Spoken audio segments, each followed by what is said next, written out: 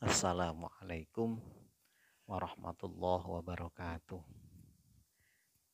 Bismillah, Alhamdulillah, wassalatu wassalamu ala rasulillah Muhammad ibni Abdullah wa ala alihi wa ashabihi wa mawalah la hawla wa la quwata illa billah amma ba'd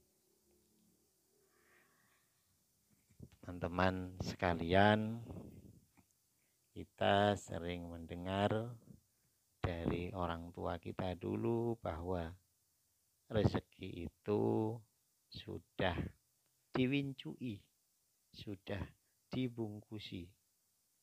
Jadi sudah tertakar dan tidak mungkin tertukar.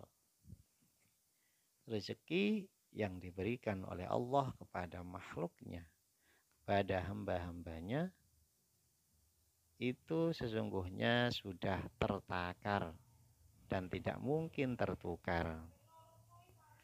Menerima apa yang telah diberikan oleh Allah Subhanahu wa taala kepada kita itu adalah cara memperkaya zahir dan batin kita.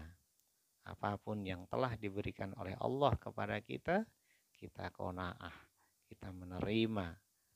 Maka itulah cara kita agar kita disebut sebagai orang yang kaya, zahir dan batin. Oleh karenanya, teman-teman sekalian jangan takut kita tidak kebagian rizki. Karena rizki itu sudah tertakar dan tidak mungkin tertukar. Mudah-mudahan kita mendapatkan rizki yang halalan tayyiban untuk keluarga kita sekalian sehingga anak-anak kita sekalian menjadi anak-anak yang solih solihah amin ya rabbal alamin. Demikian mudah-mudahan bermanfaat bagi kita sekalian.